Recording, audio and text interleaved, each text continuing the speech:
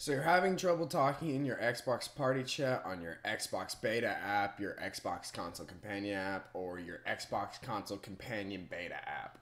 And it seems to always boil down to this Teredo tunneling adapter that is causing the issues.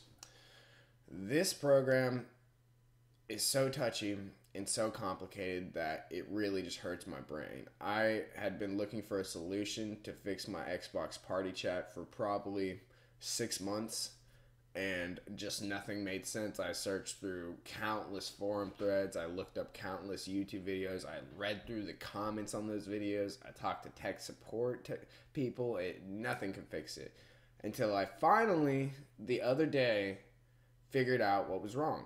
And as you'll see, even though I have gotten it fixed and mine is working perfectly fine now, the Teredo tunneling network adapter is still not in my device manager, even if I'm hitting show hidden devices. And this is how it is for a lot of people. There just seems to be a problem where it messes up sometimes.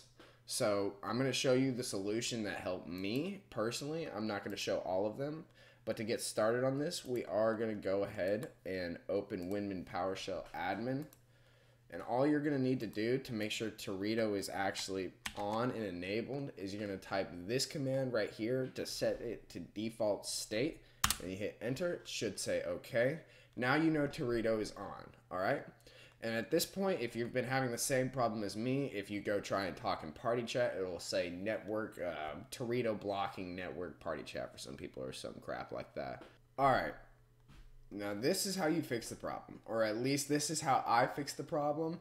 And judging from the way people are posting comments and threads, I feel like this is going to fix the problem for a lot of people, as stupid as it is. All you need to do is go down and check your date and time. Adjust your date and time. If they are not set to automatic, Teredo will not work. If Teredo does not have an accurate time, it will not be able to establish a connection between a PC and an Xbox. So you will just not be able to talk in party chat. I know it sounds crazy, but this is what helped me. This is the only thing that helped me after going through countless command prompts, checking every startup disk on my computer, checking my firewall, anything you can name, I attempted it until finally we came to the solution that it was literally just because my time was not set to automatic. And I know it may seem crazy, like, oh, my time wasn't set to automatic. That's so cringe, but I, I don't know. Maybe it was the default setting. I don't even know why it wasn't on automatic. But the moment you change it and restart your computer, it should work. And if it doesn't, I'm sorry, then uh, you probably should refer back to one of the other solutions that people have posted in other videos. But I'm posting this one because I have not seen the solution. I have not been able to find the solution anywhere.